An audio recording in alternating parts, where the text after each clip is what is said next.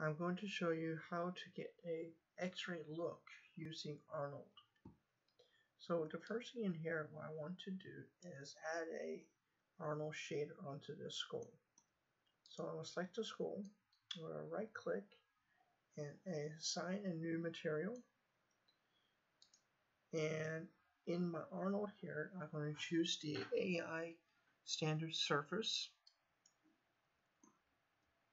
and for this here, what I want to do now is I want to create a AI facing ratio that will connect into the opacity channel. So I hit tab and type in AI phasing.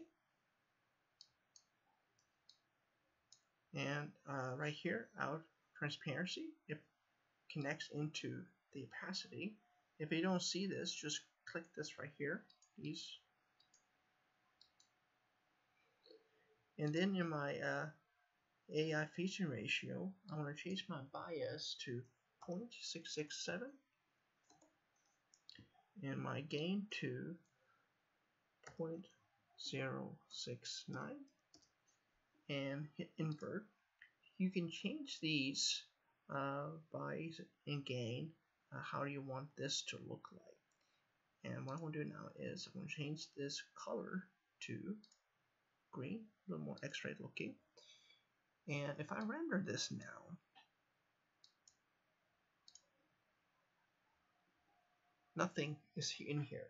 Uh, there are two things what I need to do now is, what I need to do now is add a light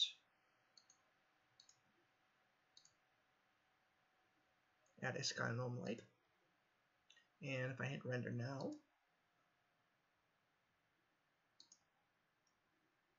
get this so what's happening in here now, uh, um, I'm not getting to see the, um, the outline or x-ray. So what I want to do is go into my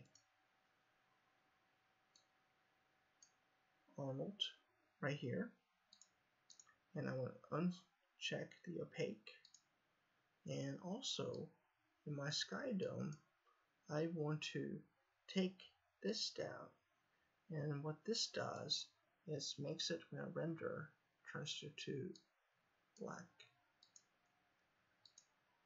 And now if I hit render, I get this.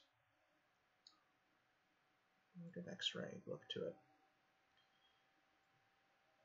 And if I want to change the looks to it, go to my